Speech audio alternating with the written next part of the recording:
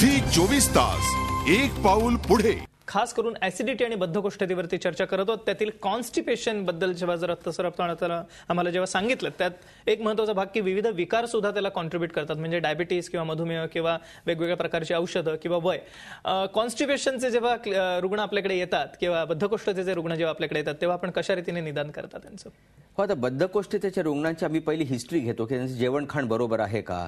आणि त्यांचं वजन कमी होत आहे का? त्यांचं पोट फुगत आहे का? आणि एकंदरीतच सगळं तपासल्यानंतर समजा आम्हाला वाटलं की आतमध्ये आणखीन थोडंसं निदान करायची जरूर आहे मग आम्ही त्यांची कोलोनोस्कोपी करतो. कोलोनोस्कोपी म्हणजे आता आपण परत लॅपटॉपवर बघूया.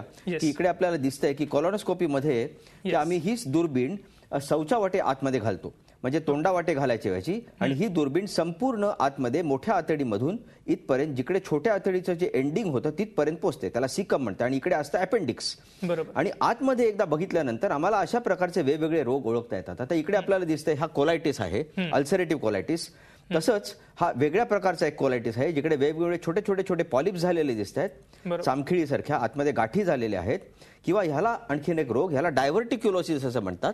म्हणजे मोठ्या आतडीच्या लाइनिंगला वेगवेगळ्या प्रकारचे फुगे येतात. आणि ते फुगे आल्यामुळे या पेशंटला बद्धकोष्ठता होऊ शकते कधी कधी शौचाला जास्त वेळ जायला लागतं वरचेवर इन्फेक्शन्स व्हायला लागतात पोटात दुखत असतं आणि गॅसेस होत असतात. तसंच आतमध्ये अशा गाठी पण साप सापडू शकतात. कोलोनोस्कोपी केल्यानंतर.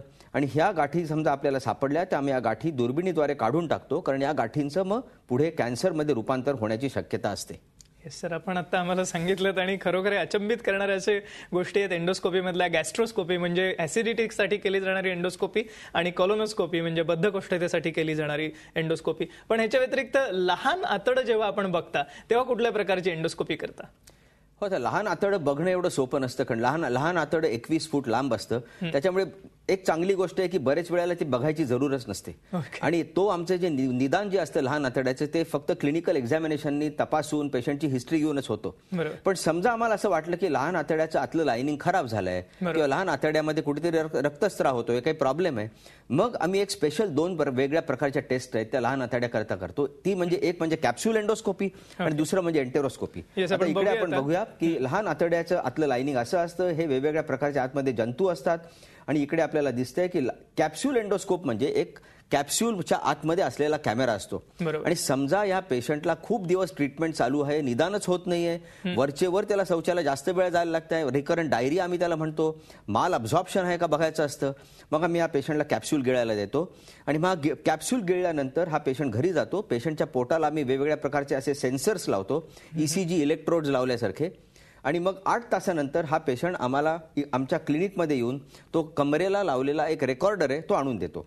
आणि हा जो हे जे सेन्सर्स आहेत ते आम्ही पुढे बाहेर पोटाला लावतो. आणि ही जी वायर आहे ती ह्या रेकॉर्डरमध्ये बसवतो आणि रेकॉर्डर एका कमर पट्ट्याला बसून पेशंटला घरी पाठवतो. आणि मग आठ तासानंतर हा रेकॉर्डर आम्ही कॉम्प्युटरला जोडतो आणि कॉम्प्युटरमध्ये जोडल्यानंतर या कॅप्स्यूलनी कॅप्चर केलेले सगळे इमेजेस आम्हाला कॉम्प्युटरवर दिसतात. म्हणजे एका पाणबुडीमध्ये बसून संपूर्ण छोट्या आतडीत प्रवास प्रवास केल्यासारखं आपल्याला आतलं लाइनिंग संपूर्ण नीट दिसू शकतं.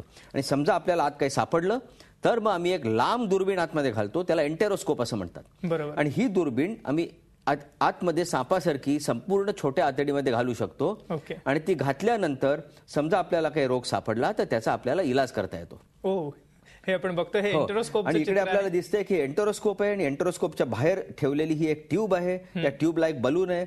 आणि हळूहळू आतमध्ये आतडी चढल्यासारखं किंवा शिडी चढल्यासारखं हा स्कोप आतमध्ये आम्हाला घालता येतो आणि त्याप्रमाणे आपल्याला आतमध्ये निदान करता येतो. येस आपण हे आता बघितलं की कशा रीतीने एंट्रोस्कोप आणि कॅप्सूल एंडोस्कोपी पोटातील विकारांचं निदान करू शकतात आणि केवळ निदान नव्हे तर उपचारही होऊ शकतात. अर्थातच हे सर्व उपचार आपल्याला डॉक्टर अमित महादेव यांच्या मार्गदर्शनाखाली Baldota institute of digestive sciences global hospital पर्याय ठिकाणी या ठिकाणी माफक दरात सर्वसामान्यांना परवडणाऱ्या दरामध्ये उपलब्ध करून दिले गेलेले आहेत आणि जरूर आपण त्यांच्या संपर्कासाठी कॉन्टॅक्ट नंबर टिपून घ्या. Baldota institute of digestive sciences global hospital. ह्याचे कॉन्टॅक्ट नंबर आहेत पुढील प्रमाणे आपण बघू शकता आता स्क्रीनवरती बलदोता इन्स्टिट्यूट परळ संपर्क क्रमांक आहे. पहिला क्रमांक आहे सहा सात सहा सात शून्य एक तीन सहा म्हणजेच six seven six seven zero one three six दुसरा क्रमांक आहे सहा सात सहा सात शून्य एक चार तीन म्हणजे six seven six seven zero one four three ह्याच्या मागे अर्थातच एसटीडी कोड मुंबईचा शून्य दोन दोन किंवा झिरो टू टू हा एसटीडी कोड लावायचा आहे. मोबाईल नंबर आहेत खास करून आमच्या ग्रामीण भागातील प्रेक्षकांसाठी जरूर टिपून घ्या आणि संपर्क करा. पोट विकारांवरील कुठल्याही प्रश्नासाठी नऊ आठ तीन तीन आठ शून्य सहा नऊ आठ तीन म्हणजेच nine eight three three eight zero six nine eight three हा प्रथम क्रमांक आहे. द्वितीय क्रमांक आहे नऊ आठ सहा सात तीन शून्य तीन दोन सात सात. झी चोवीस तास. एक पाऊल पुढे.